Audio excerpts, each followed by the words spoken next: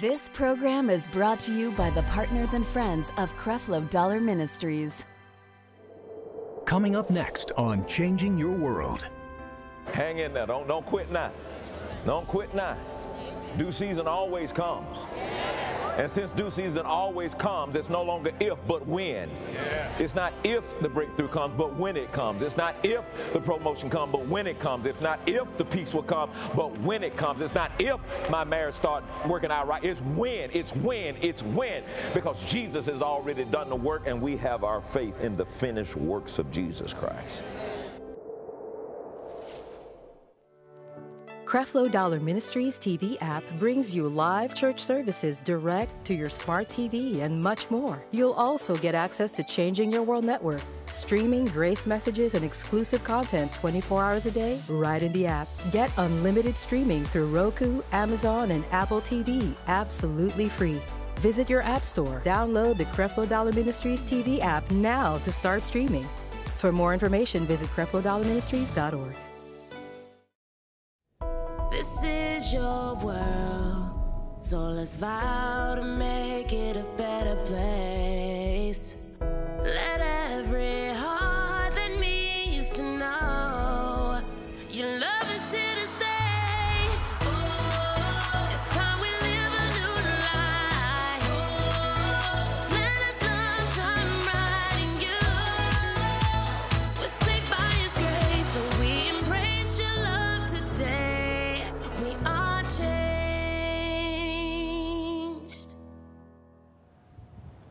want to show you something that it, I'm going to show you more than what this says. I want to show you and, and pull off the covers of how people are becoming religiously deceived. Something about deception. Deception is when you think you're right, but you're wrong, but you think you're right. And, and I want to show you this, and I want to I want to deal with this by dealing with a subject that we dealt with this past Wednesday that I just think is so important. And I want to ask you this question because I've heard answers to this question by a lot of powerful people. And, I, and, and you know what happens under the grace? You, it's grace. When you get grace, you get truth. And it straightens your impression of God. You now have the right image of who God is and it challenges the old image you had, the old image that God took my mama or daddy, and, or God caused the wreck, or God was doing this bad thing to teach me something, or you know, God want me to stay broke all my life, or maybe it's God's will for me to be unhappy so that other people. Eh, eh, you have the wrong impression of God. You see God as a judge. You see God as someone who's who's caused a sickness. You see God as someone who took the little kid who died in the car wreck. We, and then we just talk about, you know, well, uh, um, the Lord works in mysterious ways, his wonders to perform. It ain't a mystery at all if the word's rightly divided. And that needs to be straightened out. How did all that happen? When I want to use this illustration, I want you to go to John chapter 9, 31 and just work with me here. I'm going to ask you some questions because I want to provoke your thinking. I don't want to just say this. I want you to think through this process with me. So it's not uh, just a statement I want to make. I want you to think through this process. John chapter 9 and 31. I want you to read verse 31 out loud with me. Ready? Read. Now we know that God heareth not sinners. But if any man be a worshiper of God and doth Okay. Keep that scripture up. I want you to stare at it. And I'm going to ask you a question. Does God answer the prayer of sinners? Yes. All right, who says yes? Raise your hands. Put your hands down. Who says no? Raise your hands. One, I must did pretty good. Two, all right. All right, for those, all of you who raised your hands, how can you say that that's not the truth? Because that's just right, that's what he says. Isn't that what he said? Isn't that what he said? Yes. What, what, what did it say? It say, now, now we know that God heareth not sinners. All right, let me ask you, you do you believe that God hears sinners? Yes. yes. But, but, but it says you know, don't, don't get mad at me. It's in the Word. It's in the Word. It's in the Word. Now we know that God heareth not sinners. And I ask you, do you believe God hears sinners? You're like, yes. Well, wouldn't you be contradicting what the Word said? No? Y'all just rebellious, ain't you? But it's right there. It says, now we know that God heareth not sinners. And then you've been taught to live by the word. And if it's in the word, then it is what it is because it's in the word. And right there, it's in the word, it's in the scripture, it's in your Bible, your Bible, it's on the screen. So does God not, does he not hear sinners? Yes. See, come on, stick with what you had. Don't let me talk you out of what you. Some of y'all, well, now you put it like that. Does God hear the prayer of a sinner? Yes. But what does that say? So are you contradicting the word?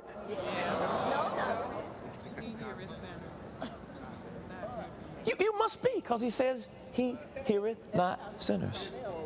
It's talking about something else. Uh-huh. Well, how am I supposed to know it's talking about something else when I'm just showing you just this one scripture? How am I supposed to know it's talking about something else? It's just that one scripture. It's just that one scripture right there. I showed you the word. That's that one scripture right there. What happened? Context declared the application of a scripture.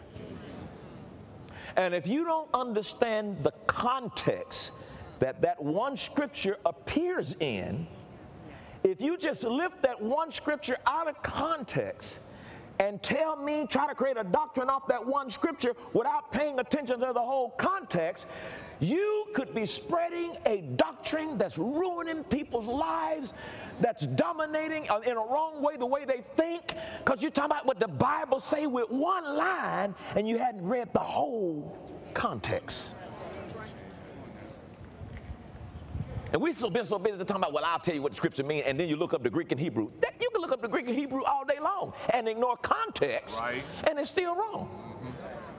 Well, the Greek, the Greek word of, of, of, sinner is something. I don't care about no Greek. What does the context say in English? I, I ain't Greek. I don't speak Greek. That's not wrong with going to look at Greek and Hebrew language, but I'm just saying I want you to look and see what's been happening here. Let me give an illustration and then we'll find the context of this because I agree with you. But I have to show you in context why that is not going to be true. Because I've heard them say, well, you know, God doesn't hear the prayer of sinners. And the only prayer he hears of a sinner is when he repents. I'm thinking, well, if he to hear that one prayer, how come he can't hear the rest of them? what kind of God is this? A bipolar God y'all talking about? Who is this? And that's what the world's, that's why they look at us like that. We come up with these strange rules for God. Well, and then, and then they talk about sinners like they're no longer, how do I explain this? It's like for you to, what they're saying, well, you have to see in context. I can't say that until you see where the word sinner came from. They actually were calling Jesus a sinner because what he did on the Sabbath day. Let me give you an illustration. Let's say I wrote you a letter, or you were involved in a conversation, and the conversation was about cookies. And, and I said to you, I said, man, I really love cookies. I think they're the greatest creation that any chef could have come up with. All right, and I'm talking to you about my love of cookies. I'm talking to you about how awesome cookies are. I even told you uh, my favorite cookie is oatmeal raisin cookies. But then I made this statement I don't like chocolate chip cookies. They are not to my satisfaction, and I will not partake of them. So you come and lift up that line. I do not like chocolate chip cookies. And then some guy adds to it because he's not reading the context of the conversation. and he says he don't like cookies. And I'm like, where you get that from? Well, right here. See that? You said you don't like chocolate chip cookies and you would prefer them. They're not satisfying to your taste. Yeah, I said I didn't like chocolate chip cookies. But you cannot assume from that one statement that I don't like cookies. So you got to go back and read the whole context of what I was talking about. In fact, I was telling you about how much I love cookies. I ain't told you the cookies I really like. There, there was a, a, a, thing on the, the, other week. I had a, I had a, a cheat day. I, I, like to take a cheat day because it kind of stirs up my leptin level. That's a fat hormone that kind of helps me to continue to burn fat so I don't get stuck at a place, right? And um, Taffi was speaking somewhere and and I, I, I went to Netflix and looked at it's this, this new thing called When They See Us. I think that's the name of it. And, and, and when I oh, when I when I, I sat and I looked at it, and then when it came on television, I thought, well, this is probably going to be short because they don't have any evidence. You know, I'm sitting up doing to myself, there's no physical evidence, no DNA matches. Oh, this this is absolutely. I mean, something's got to be wrong if you find these guys guilty. And I thought, well, it's going to be you know short. And so I got me. Uh, I think my limited well that day was three oatmeal cookies. They had to be small, three small oatmeal cookies. Same same identical ingredients, but they were small. And so I got the three oatmeal cookies, and I'm eating. Oh, it's good. And then it turned out that they like pronounced them guilty. And I'm thinking, how can they do that? And I'm like, Taffi, she ain't here. Uh, and then I kept looking, and then I was getting real bothered. You know, the, and then the, the friend that went, he just went because he was trying to be a good friend. And they got him hooked in. I'm like, oh, I, I need, I need some comforter. Uh, God, Jesus. and, and wasn't nobody physically there to comfort my emotional thing that I was going through. And I remembered in the cabinet, I had a friend that stuck it closer than any brother.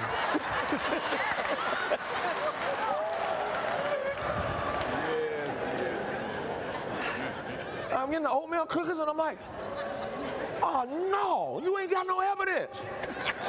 oh, no, she didn't call him animal. She called him animal. Uh, what? No. Well, he took an ad out. Oh, man. And now I reached in there and I'm like, oh, my God, ain't no more. Oh, I done sat here and ate all this old bag. David come on like you didn't eat all the old bag. Well, baby, I was looking for you. So the context is I like cookies.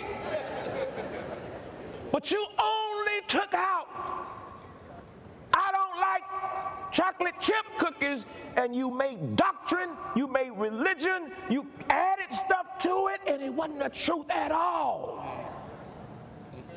That's the same way men have done this scripture here. Now, let's back up to verse 14 and see what he said. Now, context is not only the information that we missed out on, but it's the, it's the attitude and the atmosphere that was being created by the situation. Now, you remember when this guy was born blind, and the disciples had the question whose fault is it that this guy's born blind? Was it his mother or his father? Jesus said, Neither that, he says, but that I may work the works of God. And then you see the glory of God. He proceeds on down to the scripture, and, and, and, and he then takes this man on the Sabbath day. And there was a law that said no work should be done on the Sabbath. One guy went to pick up sticks and they stoned him because he worked on the Sabbath. And so they were trying to say that you can't even do miracles either. And so we pick up at verse 14. Now, watch the context, the atmosphere, and all this stuff. Now, and it was the Sabbath day when Jesus made the clay and he opened his eyes. So Jesus makes clay, puts it on his eyes. Man had never seen before, was born blind. Verse 15. Then again, the Pharisees also asked him how he had received his sight. And he said unto them, he put clay upon my eyes, I washed, and I do see. Right? All right, now watch this. Next verse. Therefore said some of the Pharisees, This man is not of God, because he keepeth not the Sabbath day. So they're living under the law. And to them, they were like, This guy just broke the law. He says, Others said, How can a man that is a sinner, so they're just now they're concluding he's a sinner. How can a man that is a sinner do such miracles? Let me put it like this. They were also saying, How can a man who's an unbeliever do such miracles? And there was a division among them. Because you're not a sinner because you sin. That's a whole new sermon, but it's you're a sinner because of the old man that's on the inside of you. When you got born again, you got rid of the old man, you got a new creation, and the new creation will give you new fruit. But you still sin even with the new creation because you're still trying to renew your mind. Does that make sense to everybody? Uh, now, watch this, verse 17. They say unto the blind man, so they're talking to the blind man again, who's no longer blind, What sayest thou of him? That he hath opened thine eyes? And he said, Is he a prophet?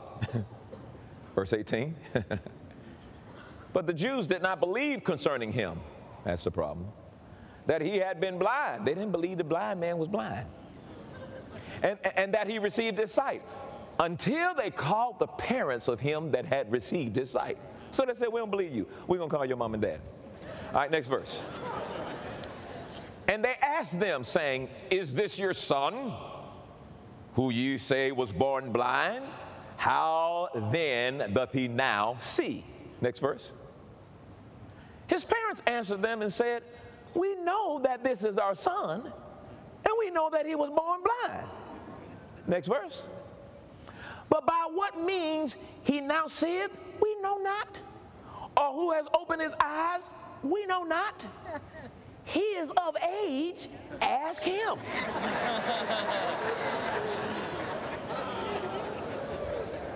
He grown, ask him. Why you talking to us? He said, He's of age, ask him. He shall speak for himself. Next verse. These words spake his parents because they feared the Jews, for the Jews had agreed already that if any man did confess that he was Christ, he should be put out of the synagogue. Now, watch this. Therefore, said his parents, He's of age. Ask him. Next. Then again called they he the man that was blind. Now, how many of you know he about, he about getting ready to, trip a little bit? How many times y'all gonna ask me? All right, look at the setting. You finna ask me the same? I'm gonna ask you the same way. Now, what is it? And he said, and he said unto him, "Give God the praise." So he's telling the blind man who's no longer blind, "Give God the praise." Now, watch this. We know that this man is a sinner. That's a real weird contradiction. On one hand, give him a praise. On the other hand, he's a sinner. By your own traditions, you know that God doesn't do miracles through sinners or through unbelievers, and yet you say, give him the praise for my blind, my, my, me no longer being blind, but then he's a sinner. All right, watch this. He answered and said, whether he be a sinner or no, I know not. One thing I know is that whereas I was blind, now I see. So I don't know about all that tomfoolery y'all talking about. I don't know nothing about all that. You know, is he a sinner? Is he a believer? Who's supposed to do what? How they supposed to do? I don't know. No, I don't go to church. This church folks drummer right here. I don't go to church. All I know is I was blind and now I can see. That's how you're gonna win the world. I don't go to church, but all I know is when I was down, that Christian loved me. They stopped and talked to me. They ministered to me. 26. Yes, sir. Then said they to him again, What did he? Again, they talk again. what did he to thee? How opened he thine eyes? you, you, you getting the context here? He about to get on this boy's last, last nerve. 27? He answered them, I done already told you. okay? I have already told you already and you did not hear. Wherefore would you hear it again? Will you also be his disciple if, if I tell you again? 28. Watch religion come out. They reviled him and said, Thou art his disciple? but we are Moses' disciples. Uh huh. We know the problem. You under the law. You're being governed by the law. And what just happened to me is greater than what's going on with your law. Verse 29. We know that God spake unto Moses. As for this fella, we know not from whence he is. Now they should have, because the law prophesies about this fella coming. Verse 30. The man answered and said unto them, Did I, did I, did I read 29? Okay. Uh, the man answered and said unto them, Why herein is a marvelous thing that you know not from whence he is, and yet he's opened my eyes. How in the world? You don't know the guy who opened my eyes and did something that ain't never been done before. Now watch him. He's now getting ready to reprimand them. Um, next verse. Now he's getting ready to reprimand them.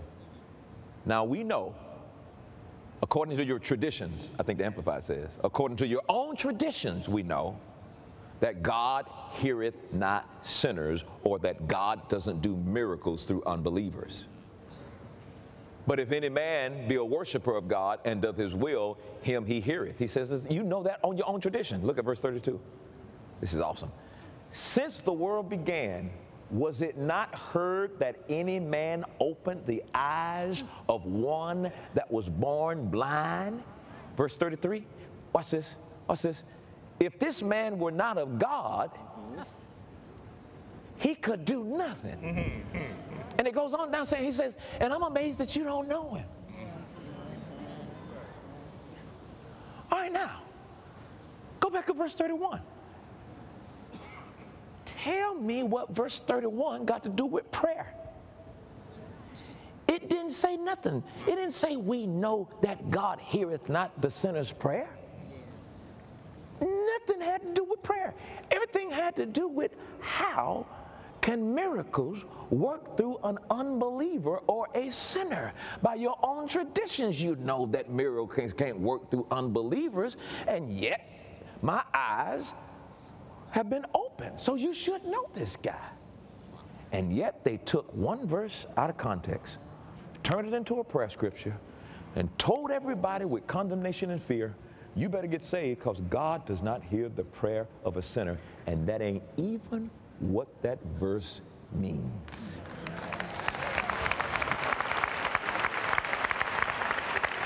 All right, now watch this.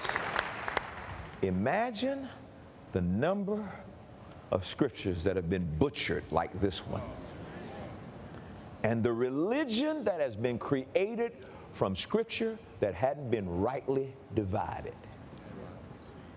Imagine the stuff that's in your head that your grandmama got and your mama and them got, Pook and them got.